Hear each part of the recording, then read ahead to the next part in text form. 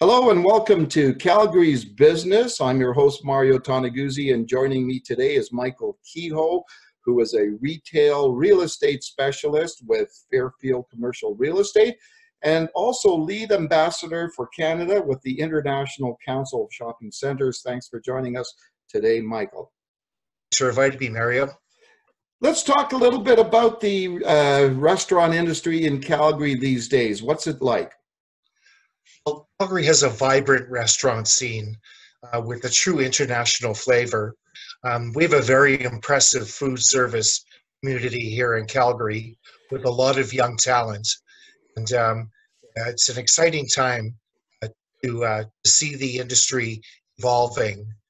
However, we are in a tough economy in Calgary, as everyone knows. Uh, consumer confidence is low. Um, sales have been impacted by the soft economy. Um, costs are high, rents are still on the high side, property taxes are high, um, utilities, minimum wage. Um, these have all had uh, a negative, um, a negative uh, impact on the restaurant food service industry at the Calgary market. Okay. Uh, tell me a little bit about uh, the, the, the, I guess, the key challenges uh, that a, a restaurateur uh, would face right now one of the key challenges is is staying relevant.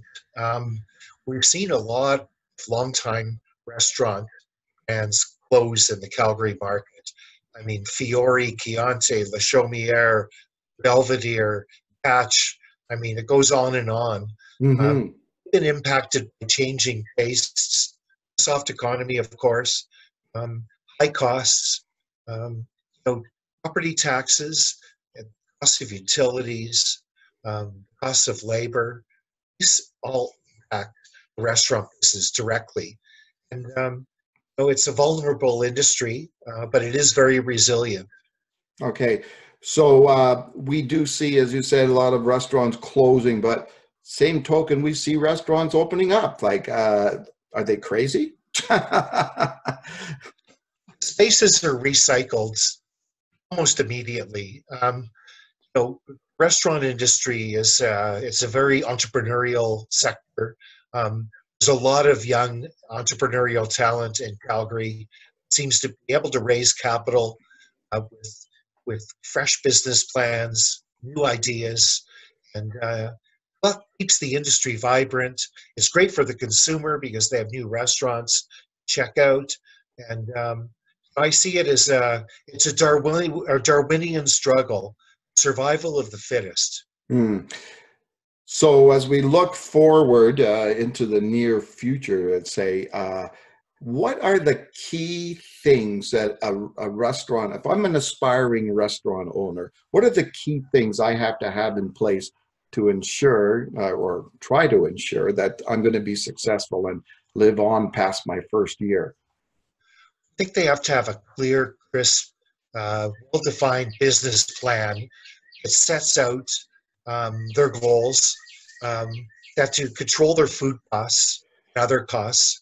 Um, seeing many, many um, uh, restaurants become a part of collaborations or um, or groups where the restaurants uh, entrepreneurs cluster together, uh, so they have economy of scale with marketing, uh, food costs, real estate, various other aspects. So I think mm-hmm. that's that's a trend that we're seeing uh, quite a bit right now, and you, know, you have to have a strong social media presence. Um, you have to build a community in mm-hmm. order to survive. Yeah, it's not about getting that first time visit, check out the new restaurant, and then the people go away. We need the repeat business. It's coming back every week or on a regular basis, and um, it's a changing industry. Uh, the city's changing, and um, it's an exciting time and exciting place to be right now. Okay. Um, you know, you, you did make reference to this earlier, and I'm going to ask you is the city and city council wrecking small business owners in the city these days with its skyrocketing property taxes? Well, it just seems like certain parts of the city have been targeted um, with the increases in uh, in property taxes. you know, it's a whole other other story uh, with respect to carries the tax burden and and the math behind that. It's very political. Mm-hmm. know, the inner city has been, been targeted. Uh, certainly, 17th Avenue Southwest, Kensington, um, Bridgeland.